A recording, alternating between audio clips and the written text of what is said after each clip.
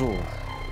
C'est avec plaisir que nous recevons aujourd'hui chez Art et Lettres Télévision Madame May Telmisani, romancière égyptienne, canadienne et professeure agrégée au département de communication universitaire Ottawa. May Telmisani a publié à Montréal un recueil de chroniques intitulé Ceci n'est pas un paradis chez Mémoire d'Encrier en 2017 traduit par l'écrivaine Mona Latif Ratas, et qui relate son expérience d'immigration au Canada et ses retours successifs en Égypte. Ses romans Doniazad chez Sud en 2000, Héliopolis Axe Sud 2002, Acapella Axe Sud 2012, ainsi que ses recueils de nouvelles Gravures répétées, Trahison mentale et Judas ont été acclamés par la critique aussi bien égyptienne que française. Son premier roman, Doniazad, a été traduit et publié en huit langues, incluant l'anglais, le français et l'espagnol. En 2002, ce roman a reçu le prix Artemar, Bastien en France, et le prix d'encouragement de l'État du ministère de la Culture du Caire pour le meilleur roman autobiographique.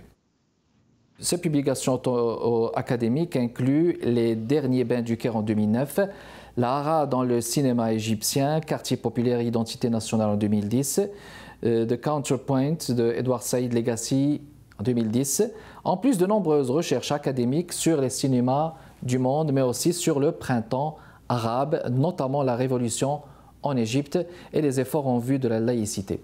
Ces recherches académiques sont publiées au Canada, en France, en Angleterre, en Égypte, en Inde et aux USA. Son dernier livre est publié à Darj et Shoro qui s'intitule El Kul Yaqul Uhibbuk, traduction vers le français. Tout le monde dit Je t'aime. Ici, Kamal Benkiran, bienvenue chez Arrêt Lettres et je vous souhaite la bienvenue parmi nous, Madame May. Bonjour euh, Kamal et merci de, m'avoir invité. Alors c'est un plaisir euh, de vous avoir euh, parmi nous. On a insisté pour que vous soyez dans notre tribune. Vous voilà, Madame. On va parler d'abord, si vous permettez, on va récapituler au niveau de vos premières œuvres. J'ai pris soin, j'ai pris plaisir de les, de les citer. Vos premiers romans, quand je vois des titres comme euh, Doniazad, euh, Héliopolis, Acapella, on dirait qu'il y a une touche euh, mythologique, historique en quelque sorte. Est-ce que c'est bien le cas?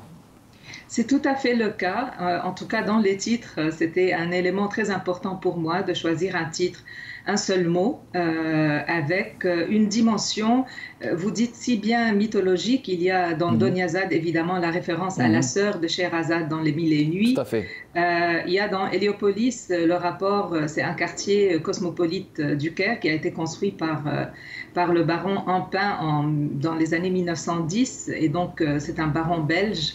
Donc il y a mhm. cette, cette dimension aussi historique de, de l'Égypte moderne.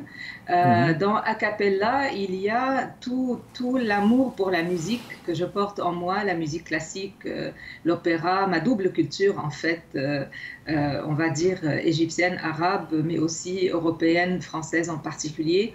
Donc tous ces éléments-là sont réfléchis plus ou moins, sont, sont représentés plus ou moins dans les titres, mais aussi dans les romans. Mais, justement, aussi dans vos recueils, euh, je dirais une touche historique, mais en quelque sorte euh, spirituelle, peut-être bien quand je vois des titres comme Gravure répétée, Trahison mentale de Judas. Euh, peut-être ce sont des héros symboliques justement qui, qui, qui hein, n'est-ce pas, qui expriment ou qui symbolisent justement un état de fait, une mentalité pareille. Est-ce que c'est le cas justement? C'est tout à fait ça, c'est-à-dire que je n'écris pas de romans historiques. Tous mes romans sont situés dans la contemporanéité, dans le, mhm. dans le, le, temps actuel, dans le présent. Euh, mhm. Héliopolis se penche un petit peu sur les années 1970, donc l'époque euh, du président Sadat. Mais mhm. euh, finalement, c'est très contemporain et c'est très moderne. Tout ce, tout ce, que, tout ce qui m'intéresse dans l'histoire et dans la mythologie, je le fais passer à travers le regard de personnages contemporains qui sont présents parmi nous, hommes et femmes. Euh. donc, je m'intéresse beaucoup à, aux liens que l'on puisse créer entre, mhm. euh, entre cette histoire, cette ces traditions, ces mythologies, ces, euh, ces lieux de mémoire, etc., que nous avons dans nos pays, donc, euh, mhm. que ce soit dans, en Égypte ou ailleurs, euh, et aussi le rapport, qu'est-ce que ça représente, on va dire ça comme mhm. ça, pour un contemporain, pour un personnage contemporain. Très bien, donc l'intérêt justement de la contemporanéité, comme vous venez de le, dire. Puis ce, magnifique livre traduit par Mona Latif Gata, ceci n'est pas un paradis Bon, un livre qui se situe aux, frontières du voyage, on va dire. Euh, la nouvelle, c'est un croisement entre le récit, la, nouvelle et, la chronique euh, intimiste. Euh, mais il y a aussi un arrière-plan aussi de, de, l'Égypte en mouvement.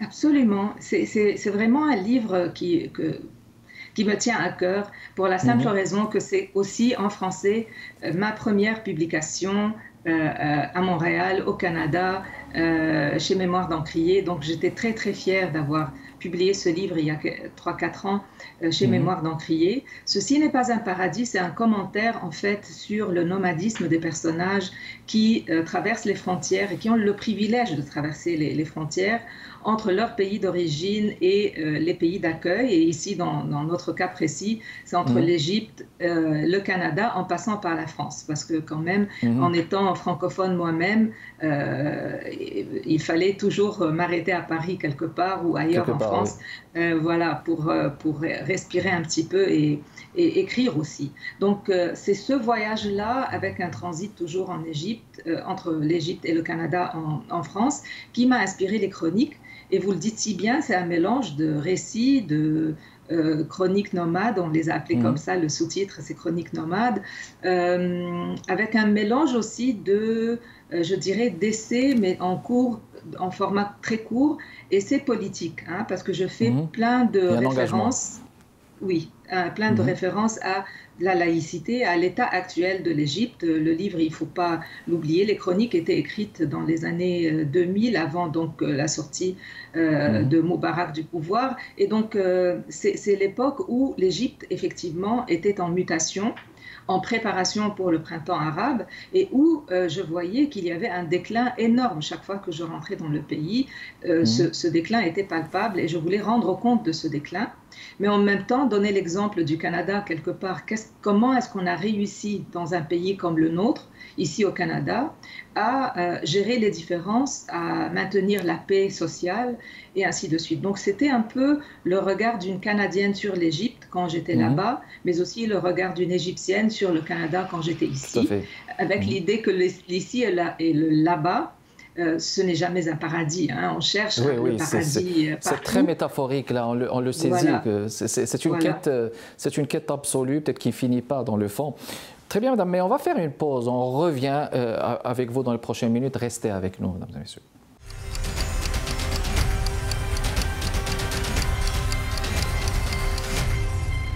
On est de retour avec vous, mesdames et messieurs, en ce jeudi. Notre invité d'aujourd'hui, May Tilmisani, euh, romancière. Elle a écrit son, tout dernier Al-Kul Yaqul Uhibbuk traduction. Tout le monde dit je t'aime. Avant de parler de ça, Madame May, vous, vous interpellez justement la, pensée nomade dans, ce livre. Ceci n'est pas un paradis, euh, justement. Mais il y a aussi la, la, problématique du retour qui est souvent posée chez les auteurs, on va dire, de la, de la, de la, de la migrance. Euh, cette, cette, situation du, du retour pourquoi elle est, souvent posée selon vous? Pourquoi on la retrouve souvent euh, posée avec une certaine acuité, on va dire? C'est-à-dire que j'essaye d'expliquer la situation de quelqu'un qui appartient à la première génération d'immigration ou d'immigrants mhm. dans la famille. Et souvent, cette personne-là, si elle est formée, si elle a eu son enfance, son adolescence, une partie mhm. de l'âge adulte dans un pays d'origine, une fois mhm. euh, dans l'immigration, va certainement réfléchir à un moment donné à retourner au lieu d'enfance au lieu de l'enfance. Et, c'est un peu le cas de plusieurs euh, amis. Moi, je suis arrivée au Canada en 98, j'avais déjà 33 mhm. ans. Euh, donc, plusieurs amis autour de moi, plusieurs membres de la communauté arabe canadienne, etc., que je, mhm. sur lesquels je fais de la recherche, euh, ont ce désir-là de retourner sur les lieux d'enfance. Ce n'est pas, ce n'est pas tout à fait le cas de deuxième ou de troisième génération nés au Canada d'origine arabe. Alors il faut faire juste la différence entre les deux. Mais dans le roman, dans euh, Tout le monde dit je t'aime, mhm. euh, euh mhm. il y a un mélange de plusieurs générations quand même. ce que j'essaie de, démontrer dans ce, dans ce roman, qu'on est tous en mouvement, quelle mhm. que soit la situation et quelle que soit l'origine. Tous en, à la recherche d'une réponse. quoi. Alors, justement, je traduis encore, tout le monde dit je t'aime. D'ailleurs, c'est un, titre qui est, fascinant avec des personnages fascinants. Kamal l'Égyptien, Karim, euh, la femme de Karim qui rencontre euh, la Syrienne Daina, puis Bassam El qui, qui n'est-ce pas, qui clôture euh, cette panoplie de, récits jonchés euh, d'histoires, de visions sur l'amour et, et, une vision sur le monde aussi.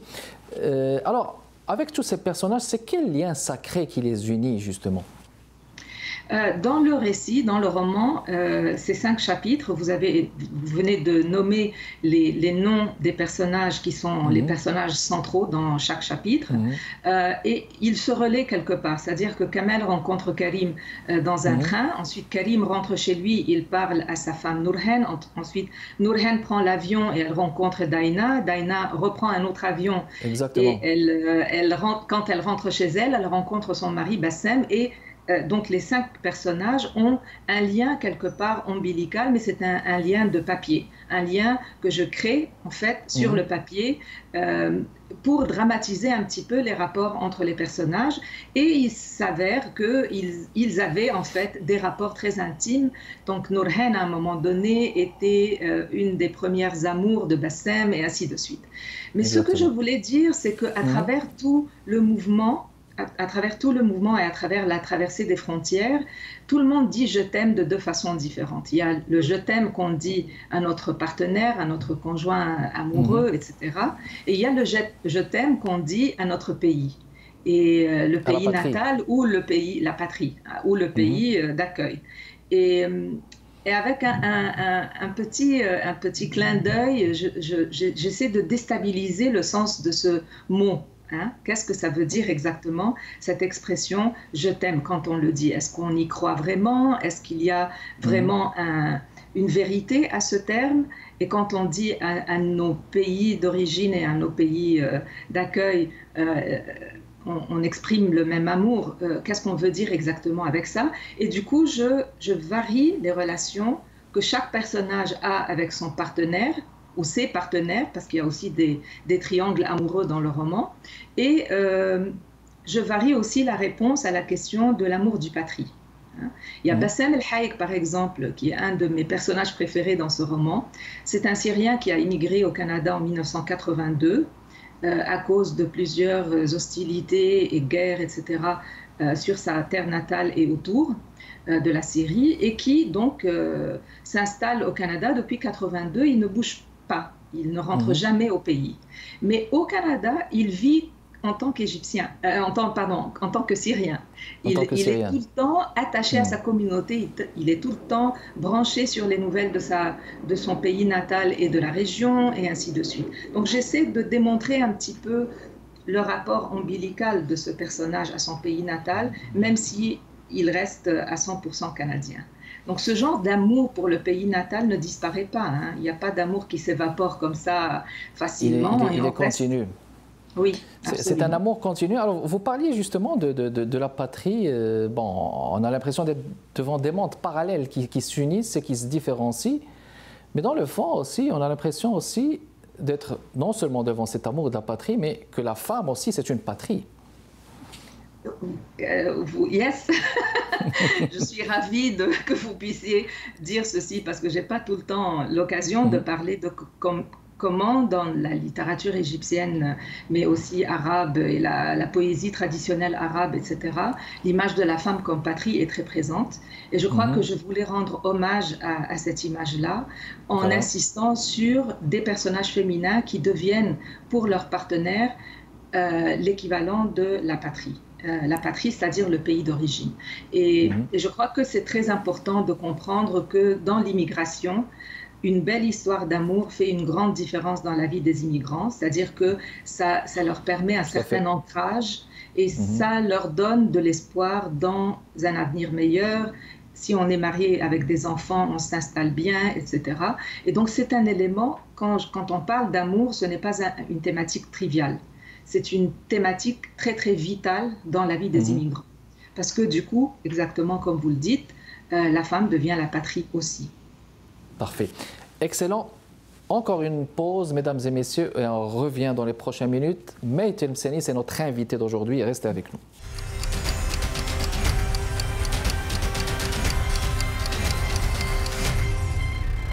On est de retour avec vous, euh, mesdames et messieurs, pour continuer notre discussion avec May Telmisani, euh, romancière autour de son dernier livre, euh, Tout le monde dit Je t'aime. Alors, madame May, Bon, maintenant parlons de cette idée des frontières. Il semble qu'il y ait des frontières. Bon, ça se passe dans un train. Tout le monde se relaie sur le récit qu'on venait de dire. Mais comment faudrait-il justement comprendre cette idée des frontières? Que traversent tous ces personnages? Écoutez, les frontières, c'est euh, une thématique très très importante dans le monde moderne. Euh, mhm. Il y a ceux qui prétendent que les frontières se sont complètement écroulées puisqu'on a l'Internet et puisque on a accès à l'information, et, etc. Alors que d'autres trouvent que les frontières deviennent de plus en plus rigides parce que les vraies frontières nationales, géographiques, etc. sont mhm. très, de plus en plus difficiles à traverser. Il faut rappeler aussi que le roman se passe en février-mars 2020 euh, ce qui veut mhm. dire qu'on est au début de la pandémie, au début de la découverte de, de l'ampleur de cette pandémie à l'échelle mondiale, et que donc les personnages vont se retrouver encore une fois restreints dans, leur, dans leur capacité de mouvement. Euh, c'est tout le temps, c'est tout le temps des personnages aussi qui, qui vivent à distance, qui ont un, un rapport euh, amoureux à distance, parce que le mari travaille, je ne sais pas, dans, un, dans une ville comme Windsor, alors que mhm. l'épouse vit dans une autre ville comme Toronto, et, et, il y a un mouvement entre les villes, etc. Donc, le problème des frontières, c'est que ça devient, ça devient une métaphore pour les immigrants pour dire que euh, on aimerait bien traverser ces frontières, mais aussi euh, frontières nationales, mais aussi linguistiques, euh, culturelles, etc. On aimerait bien avoir cette forme d'intégration-là, mais la réalité est que ces frontières persistent et deviennent, dans certains cas, de plus en plus rigides. Et ça me mène à, penser aussi que le roman est, est tout à fait dans la laïcité, mais sans être dans la laïcité directe. Euh, c'est-à-dire mhm. que moi, je célèbre beaucoup dans ce roman l'égalité entre hommes-femmes. Je célèbre également l'égalité entre citoyens. Que ces citoyens soient de première, deuxième génération, troisième génération ou des, euh, les fondateurs des, euh, du Canada ou les communautés fondatrices du Canada ou des États-Unis, parce que le, roman se passe aussi un peu aux États-Unis. Donc pour mhm. moi, ce droit de citoyenneté-là, est un des droits que la laïcité garantit. Et je crois que c'est dit d'une façon très très subtile dans le roman, mais je crois que c'était quand même euh, mon engagement politique qui parlait derrière le récit un petit peu, qui, faisait, euh, qui faisait des, des, des, des, lignes, euh, des lignes très très claires. voilà, et lucides, oui. Et, et lucide par rapport à, à cette thématique-là, de la laïcité, de la citoyenneté responsable, mais responsable de part et d'autre, hein, de part et d'autre des frontières entre communautés visibles et invisibles, euh, et ainsi de suite. Cette réciprocité, tout à fait. À la fin, c'est Bassam Elaï qui, qui, trace, qui dessine, qui, qui n'est-ce pas, qui projette cette fin.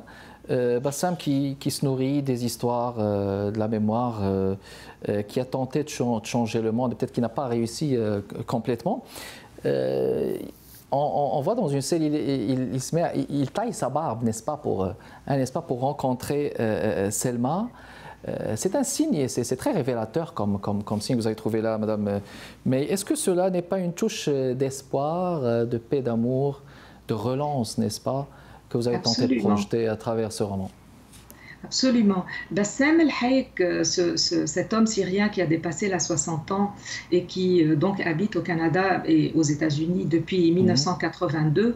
Euh, est, un personnage euh, défait. Hein. C'est un personnage qui, a, qui sent la défaite dans son corps, dans son histoire personnelle, dans la vie en général, etc. Il continue d'exister, mais il existe comme un jellyfish. Hein. À un moment donné, je, le, je fais, je fais un, lien avec le jellyfish. Euh, mm-hmm. mais en même temps, ce qui sauve Bassam El Haïk, c'est son désir de toujours plaire aux femmes. Et du coup, même quand il est, marié, c'est un séducteur. C'est un mhm. séducteur et il trouve la paix auprès de plusieurs femmes dans le récit, y compris des, jeunes femmes qui, ont, qui, sont dans la trentaine, un peu comme Selma, qu'il rencontre par pur hasard, et qu'il va peut-être, donc à la fin du roman, je donne un peu d'espoir à Bassem, qui va mhm. peut-être se lier en amitié avec cette jeune fille. Euh, il n'y a rien de nécessairement euh, érotique dans cette relation, mais il y a toujours ce désir de rapprochement entre hommes et femmes à travers l'amitié, à travers la complicité et ainsi de suite. Donc j'essaie de trouver une issue pour Bassam El Hayek et pour euh, plein d'hommes arabes qui lui ressemblent en fait euh, et que j'ai rencontrés. J'entends plein d'histoires et de, je suis mmh. de près des membres de ma famille, des, des, collègues, des, des, des gens sur lesquels je fais de la recherche, etc. Et souvent, il y a cette élément euh, amoureux qui est, qui, qui, qui, euh, qui, est un peu perdu dans la vie euh, d'un personnage qui a dépassé les 60 ans, etc. Et je lui donne donc une porte d'espoir quelque part à la fin du roman. Une, touche d'espoir, quand vous dites. Mais, mais c'est un roman, on va dire, jonché, rempli de, de, de, ce qu'on vit, hein, du, du, Covid, des répercussions de cette pandémie, du, du corona, de, la guerre, des engagements des, personnes. Pourquoi est-ce que vous avez tenu, n'est-ce pas, à mettre en valeur cette, complexité des choses dans ce roman? C'est-à-dire que au début, c'était euh, l'histoire d'une rencontre dans un train. Euh, deux personnages qui ne se connaissent pas et du coup, ils découvrent qu'ils ont plein d'éléments en commun. Euh, mhm. un personnage a 60 et quelques années, l'autre a 40 et quelques. Et donc, il y a un jeu de miroir qui se crée entre ces deux personnages-là. On dirait que Kamel El-Masri, c'est l'avenir de Karim Sebet, le jeune. Mhm. Euh, mais petit à petit, je me suis penchée un peu plus euh, à travers ce roman sur des réalités beaucoup plus concrètes de leur vie, de leur vie quotidienne, mais de leur. Euh, Karim, par exemple, a étudié à l'université à Montréal. Nourhen a également fait une maîtrise à, à l'UDM, et ainsi de suite. Donc, je, monte, je montre un petit peu et de plus en plus la réalité sociale, culturelle. Mhm politique de ces personnages, parce que c'est cette réalité-là qui les forme, qui constitue leur personnalité, qui nous aide à comprendre leurs choix dans la vie euh, et aussi leur histoire d'amour, comment l'histoire d'amour se construit sur un mhm. fond social et politique. Très bien. Alors, tout le monde dit je t'aime de Maï Telmisani. Je vais vous demander de le montrer, Madame Telmisani. Vous avez le livre avec vous, hein? Oui. Oui, de le montrer, s'il vous plaît. Oui, oui, Je, je, vous remercie. Publié chez Dar Shorouk en Égypte, c'est bien ça? Voilà, voilà. Et c'est, euh, si vous voyez bien, les, la couverture est d'un mhm. grand peintre d'Égypte, Khaled Hafez. Et ce sont des mhm. personnages qui sont en train de, en fait, voler avec leurs valises, avec leurs ailes, etc. Et c'est vraiment mhm. la, condition nomade euh, des, des, immigrants, des immigrants arabes canadiens dont je parle dans le roman dont vous parlez dans le roman. C'est un plaisir de vous avoir accueilli. Merci beaucoup d'être passé euh, chez, chez Art et Lettres, euh, Madame May Telmessani avec nous euh, aujourd'hui. Mesdames et messieurs, merci à vous. Kamal Benkiran avec vous. Je vous fixe rendez-vous la semaine prochaine, jeudi à 15h30. Portez-vous bien. À la prochaine.